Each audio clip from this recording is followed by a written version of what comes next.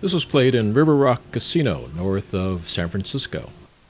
You know, I've played Wicked Winnings 3 many times on lower payback machines and other casinos, and I definitely feel the difference when I play this 95% machine here at River Rock.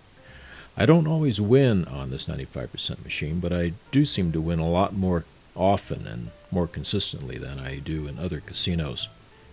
As such, I've pretty much given up playing this game uh, in other casinos, and I now only play it here at River Rock. I hope you enjoyed this video. Please like and subscribe. Leave comments or ask questions, and I'll respond. And thank you for watching.